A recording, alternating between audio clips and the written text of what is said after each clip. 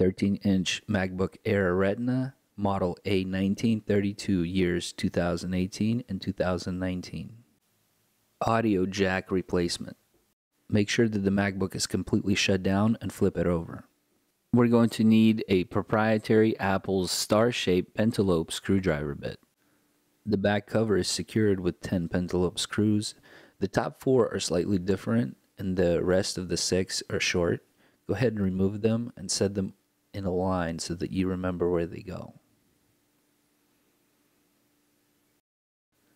Once the screws are removed, lift up the MacBook. We'll need to pry apart the cover. It's clipped in, so with just a little bit of resistance, you should be able to pop it right off.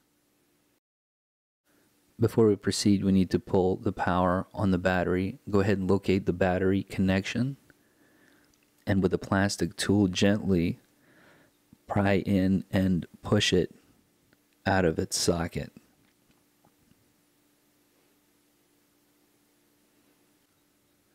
Begin by gently lifting the lash on the audio jack cable. Go ahead and go underneath it and just pull it out. Now just unstick it from the fan. We'll need to remove three T4 screws that are guarding the cable with a bracket. Go ahead and remove the bracket. Now you can just trace it out and pop it out of its socket, move it aside. Go ahead and disconnect that little power cable right there. Let's disconnect the left speaker by prying underneath it and just popping that out of its socket. Now remove one black T4 screw.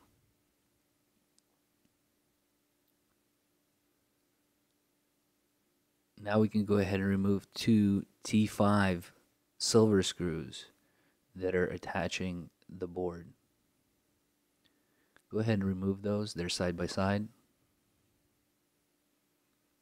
Now you can go ahead and lift up the board up and out of its socket. Reassembly. Now go ahead and place back the audio board. Make sure you're not jamming any cables. Go ahead and click in that power cable. Click in the left speaker secure the two silver T5 screws. Now secure the black T4 screw. Go ahead and reconnect the main bridge cable. Place back the bracket. Secure the three T4 screws. To stick it on, go ahead and replug in the data cable into the logic board. Click in that eyelash reconnect the battery power cable to the logic board by sliding it into its socket.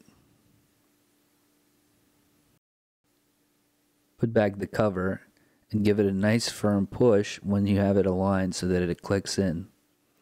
Go ahead and put back the four screws. As you can see, the longest two go in the center and then the other ones go in each corner. And then the shorter screws all go around the remainder of the contour of the Mac. This concludes the tutorial. Help support our content by subscribing.